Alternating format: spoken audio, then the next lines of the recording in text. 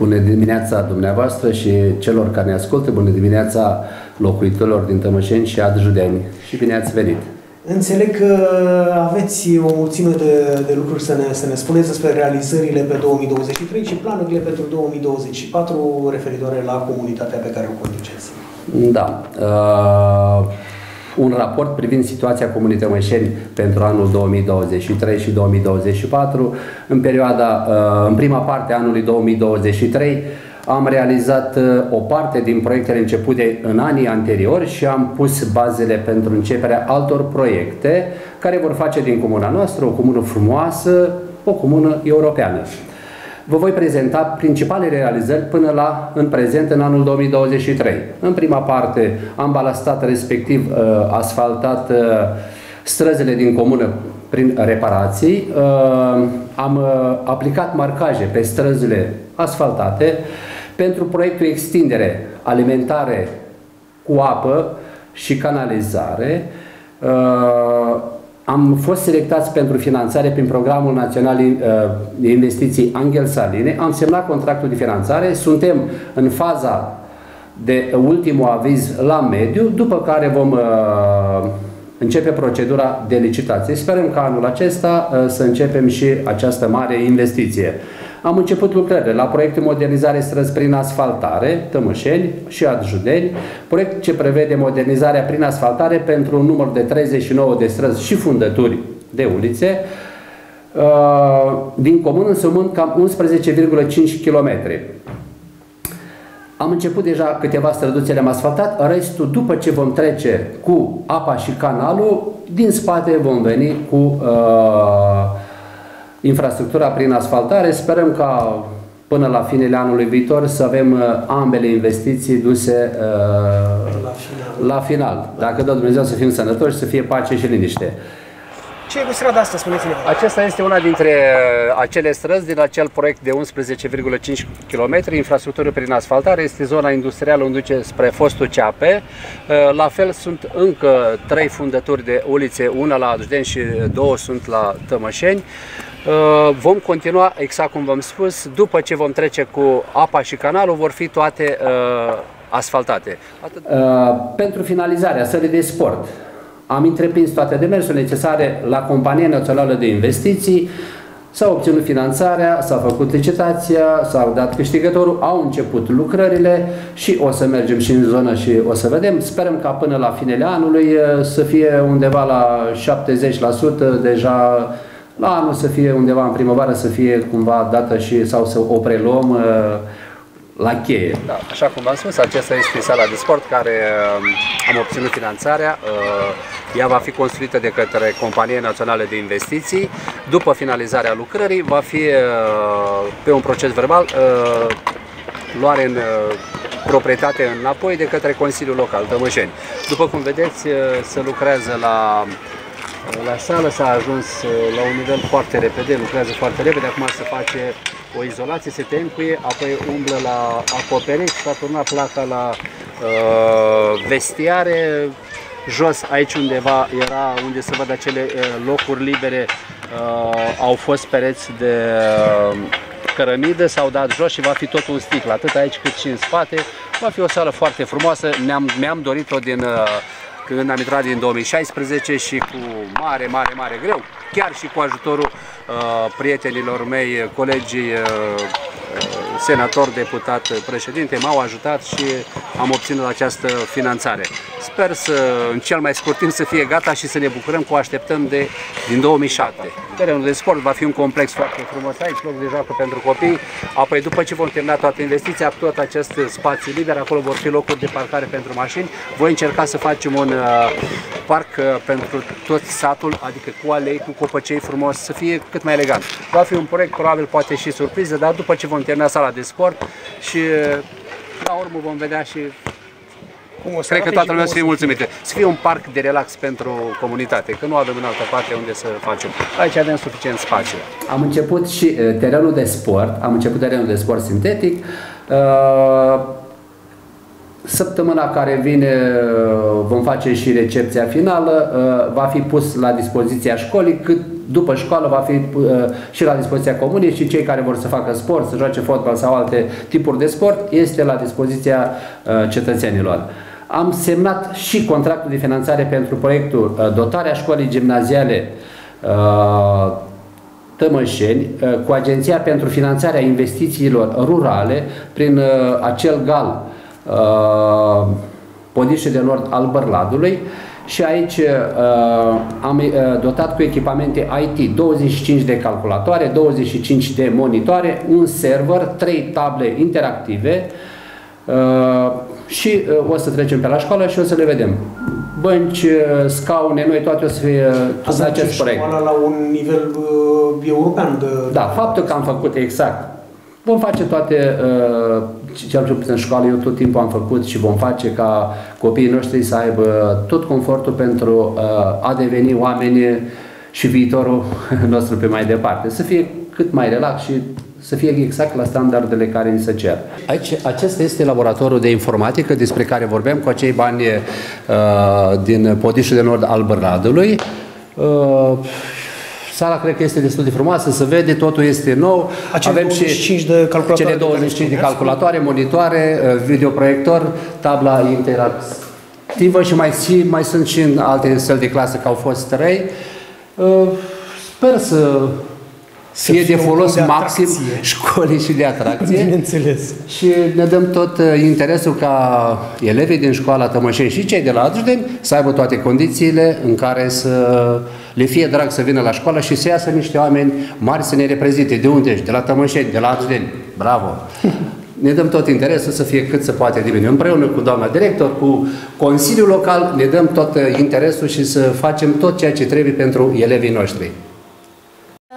Aici ați intrat în laboratorul de, de biologie, uh, un laborator care l-am uh, dotat uh, tot, cred că anul trecut am reușit, cu ajutorul unui investitor în educație care nu vrea să-și dea numele, dar având în vedere că anul acesta avem și laboratorul TIC, cred că vor fi două puncte preferate, preferate, preferate da. de copii Aici um, este noul centru de uh, CDI al școlii. Um, calculatoarele sunt o donație din partea unei companii IT din București, care tot la fel nu vrea să-și dea numele. Uh, începând de, din anul acesta școlar, uh, o să avem și psiholog în școală, jumătate de normă va avea la noi, jumătate la adjudeni. Și am reușit să încropim și un cabinet psihologic unde copiii vor veni și vor avea posibilitatea să discute într-un mod intim cu doamna psiholog. Aici ne aflăm în cabinetul medical. Uh, avem uh, o doamnă asistentă medicală care a încheiat contract de prestări servicii cu școala.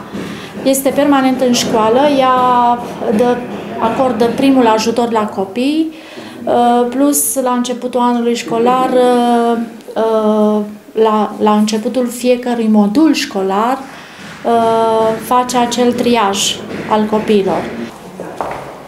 Aici o să vă arăt o scară pictată de copiii școlii. Aha. Au pictat uh, casa scării, cum se spune, uh, la ora de desen.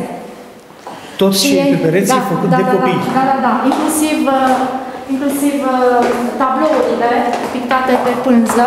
Și cum uh, că se apropie începutul anului școlar, care este feeling-ul? Vă simțiți pregătit ca instituție pentru începerea anului școlar? Eu zic că da, avem totul pregătit. Școala are porțile mari deschise pentru, pentru elevi, pentru părinți, pentru toți cei care doresc să viziteze școala avem lucruri multe de arătat, um, avem lucruri noi făcute în școală și da, eu uh, spun din toată inima că școala este pregătită pentru începerea anului școlar. Deci nu numai uh, uh, acum am fost susținută, ci de la începutul mandatului meu am avut tot timpul o colaborare extraordinar de bună cu Consiliul Local, cu primăria, uh, cu părinții și chiar cu anumiți uh, investitori în educație, aș putea spune. Vă mulțumesc foarte mult și pentru vizite și pentru lămuriri și mult succes în noul an școlar. Vă mulțumesc și vă mai aștept. Am semnat contractul uh, pentru finanțare prin PNR, componenta C10, Fondul Local pentru uh, proiectul Reabilitare Moderată a clădirii C1 a Școlii Profesionale Adjudeni. Obiectivul proiectului este creșterea performanței energetice a clădirii C1, corpul uh, Uh, școlii, a școlii profesionale adjudeni, prin reducerea cu mai mult de 30% a necesarului de energie primară, concomitent cu obținerea autorizației de securitate la incendiu, care este foarte importantă pentru a ne proteja copiii în cazul să fim în siguranță. Deci, așa cum am făcut la școala Tămășeni, autorizația uh, ISO și la grădinița Tămășeni, va fi și la școala Adjudeni, cu uh, hidranți interior, exterior, tot ceea ce cere uh, ISO. Uh, am pregătit sala pentru bobocei noștri de la învățământ primar, pentru clasă pregătitoare. Avem două clase. Aici este sala una dintre cele două clase pentru 31 de copii. Biblioteca școlii cu un număr de 11.000 de volume, uh, dedicată copiilor de la învățământul primar și gimnazial, destinată. 11.000 de volume. Da. Sunt multe. Uh, încă ne mai, mai avem nevoie, încă mai merg achiziționate. Laboratorul de informatică cu 25 de stații de lucru, uh, relativ uh, nouțe. De 3 ani avem, uh, cu sprijinul primăriei, avem amenajat această sală și dotarea corespunzătoare. Un centru de documentare și informare destinat activităților școlare, dar și extrașcolare, unde copiii își aduc aportul și prin lucrările și creativitatea și lucrările realizate de ei în activitățile acestea. Uh, o sală de clasă amenajată pentru boboci, atât învățământului primar și gimnazial, funcționăm în două schimburi, deci este clasa 1 și clasa 5 după amiază. De aceea veți vedea diferite uh, materiale pe, pe Până la finalizarea sălii de sport pe care o așteptăm de 10 ani și care cu mândrie spunem domnul primar că va fi finalizată anul acesta, ne desfășurăm ore de sport în această sală amenajată. Uh, este dotată cu materiale corespunzătoare cerințelor uh, învățământului primar și gimnazia. Și pictată cu... Cu ajutorul copiilor, deci sub îndrumarea domnului profesor de desen, dar realizată de către copii, de către elevii noștri de gimnaziu. Da, aici este vorba despre acest colț unde va fi făcut o extindere prin acel proiect uh, pe care vi l-am spus pentru uh, eficientizarea energetică a școlii. Vor fi schimbate toate aceste geamuri care le vedeți dumneavoastră, roata împrejurul școlii, vor fi geamuri montate noi, care vor fi cu mai multe rânduri valori de sticlă mai uh, performante. Iar uh, pentru autorizația ISO a făcut aici o uh, extindere pentru toalete de jos, toaletele sus, și uh, restul lucrărilor care vor fi făcute, ceea ce au cerut cei de la ISU, cu hidranți interior, exterior, tot pentru siguranța copilor, așa cum am spus că și la școala Dăjden vor fi lucrări foarte multe, începând probabil de la anul, că anul acesta nu putem să mai și încurcăm cumva uh, școala. Deci, cam acestea sunt pentru școala Dăjden momentan. Apoi, după aceea, acel proiect care va fi pentru uh, dotarea tuturor sălilor de clasă. Anul acesta o să facem un proiect pentru extinderea grădiniței Adușden pentru ca să uh, poată să aibă program de dimineață toată, toți copiii și uh, în primăvara anului viitor uh, sperăm ca până la uh, începerea anului școlar uh, anul viitor să fie și sala gata. Deci o să le facem o sală de clasă nouă să încapă toți copiii. Ne bucurăm că avem mulți copii și o să le oferim și condiții așa cum își uh, doresc părinții, chiar și copiii. Ce e cu clasa asta? Aceasta este clasă, sală de stat europei mijlocii, un număr de 23 de copii. Fiecare cadru didactic, fiecare educatoare și-a adus, și-a pus amprenta pe amenajare, cât mai colorat, cât mai atractiv, copiii să vină cu drag la grădiniță, să um, învețe, să capete abilitățile necesare, trece la nivelul următor.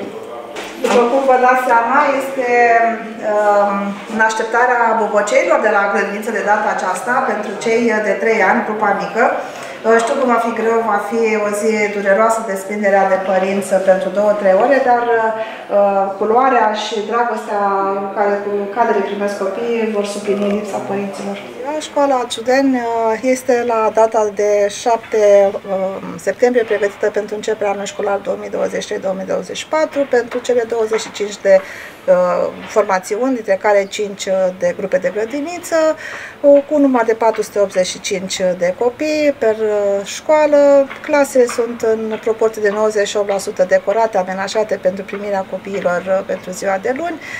Um, și consider că anul școlar este sub uh, bune auspicii. Cum s-a spus locurile libere? Sunt ocupate? Nu sunt ocupate? Mai sunt? Uh... Locuri libere la clasa noua profesională. Avem, uh, mai avem uh, încă 9 locuri libere, uh, dar depășim uh, jumătate astfel încât uh, poate să funcționeze și la anul școlar uh, ca de tot mai început.